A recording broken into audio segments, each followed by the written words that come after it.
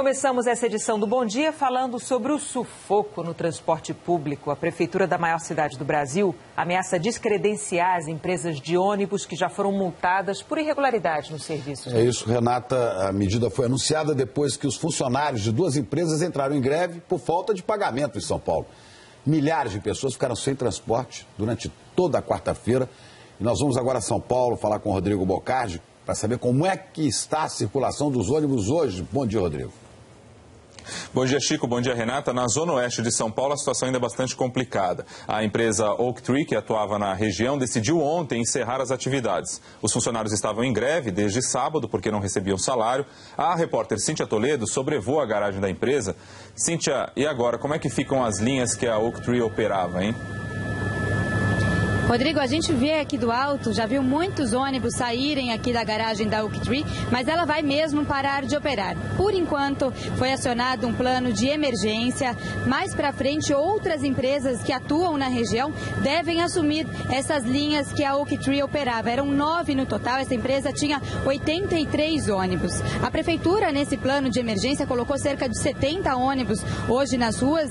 É um plano que foi montado para atender a esses passageiros, mas é um pouco menos do que tinha a Oak Tree. Por isso, os passageiros reclamam, dizem que está demorando mais para o ônibus passar e que a sinalização é ruim. Eles dizem que não aparece ali o nome da linha, então eles têm que parar, perguntar para o motorista. Situação ainda mais complicada aqui na zona oeste de São Paulo. Ontem teve greve na zona leste, essa greve já acabou, mas prejudicou muita gente. Por causa dessa confusão, a prefeitura analisa a possibilidade de voltar a ter uma estatal para cuidar dos ônibus. Veja na reportagem.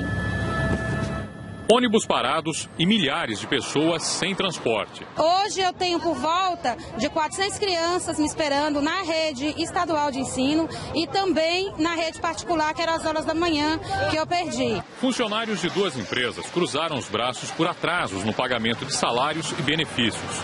Houve dificuldade para pôr outros ônibus nas linhas afetadas porque os grevistas impediram alguns deles de circular. A prefeitura informou que as empresas já foram advertidas, multadas por irregularidades nos serviços, como descumprir intervalos de partidas, e que agora podem ser descredenciadas. Eu penso que nós chegamos a um ponto limite de tolerância. Elas poderão chegar no limite a ser descredenciadas, porque eu penso que as multas não estão resolvendo a questão. Segundo a Secretaria de Transportes, São Paulo conta com uma frota de 15 mil ônibus. Nos horários de pico, circulam superlotados.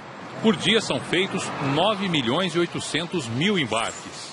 O prefeito Fernando Haddad disse que não descarta a possibilidade de criar uma companhia municipal de ônibus aqui em São Paulo e que já encomendou um estudo sobre o assunto.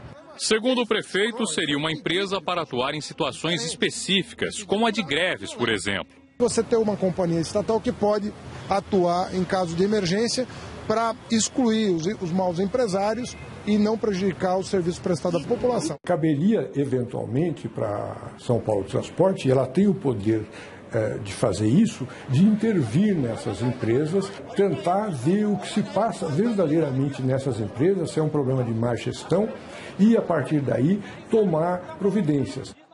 Tudo isso no momento em que há o incentivo para as pessoas deixarem os carros em casa e usarem os ônibus com a criação das faixas exclusivas. A licitação para renovar o sistema de ônibus da cidade, no valor de 46 bilhões de reais, está paralisada desde junho por decisão do prefeito. Chico e Renata.